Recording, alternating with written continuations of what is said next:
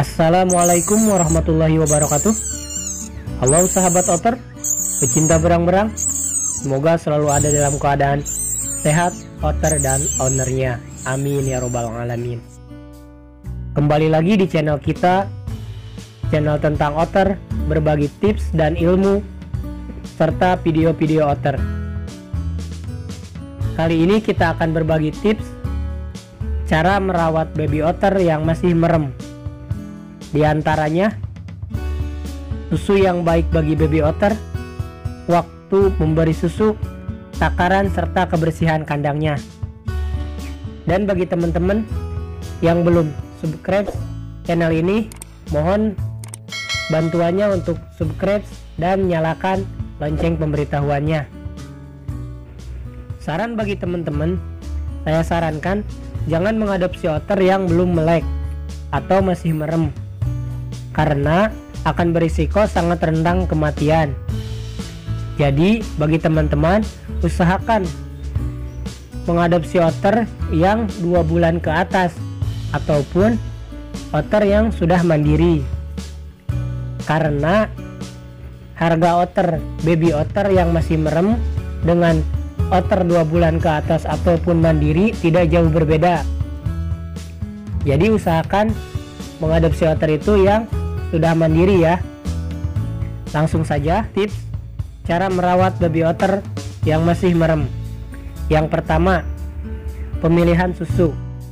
Susu yang baik bagi baby otter yaitu susu kucing ataupun bisa susu non laktosa seperti SGM 0 sampai 6 bulan yang non laktosa.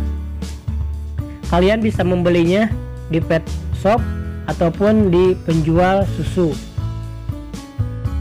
Karena hati-hati, susu yang salah berisiko akan menyebabkan kematian bagi baby otter itu ya. Cara penyeduhannya yaitu menggunakan air panas, tunggu hingga dingin. Baru kita masukkan ke dot hewan.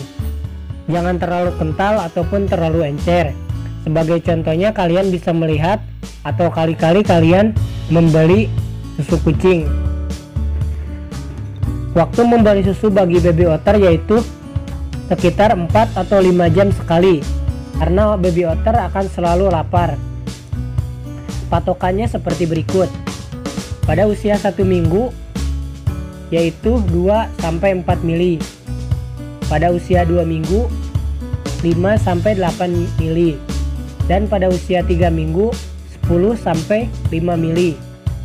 Tambahan bagi teman-teman Bila sudah dikasih susu, otter kita masih berbunyi atau kelihatan lapar, jangan dikasih dulu ya. Karena kebanyakan minum susu akan menyebabkan otter tersendat ataupun bisa mati. Yang kedua yaitu kebersihan baby otter dan kandangnya. Teman-teman usahakan baby otter dibersihkan dari kotoran ataupun susu yang menempel pada badannya dengan tisu basah agar tidak menjadi jamur pada kemudian hari. Dan usahakan kandangnya selalu kita bersihkan seperti kain alas baby otter selalu kita ganti seandainya sudah kotor. Sering-seringlah menggantinya karena menyebabkan otter nantinya menjadi sakit. Ya, yang ketiga yaitu suhu. Suhu otter jangan terlalu panas ataupun terlalu dingin bisa kita pakai alasnya yaitu selimut agar otter tidak terlalu kedinginan. Ataupun pakai lampu seperti ayam bular ya, tapi jangan terlalu dekat karena takutnya kepanasan. Ataupun saya dulu pernah pakai air hangat yang dimasukin ke botol. Terus saya simpan di kardus kandangnya otter. 4. Tipsnya yaitu bila otter sakit, langsung bawa ke dokter hewan. Biasanya tersakit itu seperti tersendak, flu, batuk, ataupun mencret. Biasanya kalau otter sakit, dia badannya lemas dan kotorannya pun kuning cair ya. Seperti pada tabel di sini.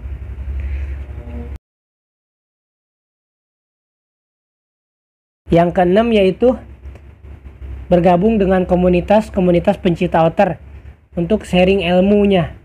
Jadi seandainya ada pertanyaan bisa langsung bertanya ke teman-teman yang ada di komunitasnya. Terima kasih, semoga bermanfaat. Bila ada pertanyaan atau masukan, bisa komen di kolom komentar di bawah. Salam satu hobi, salam lestari, ciak ciak ciak. Assalamualaikum warahmatullahi wabarakatuh.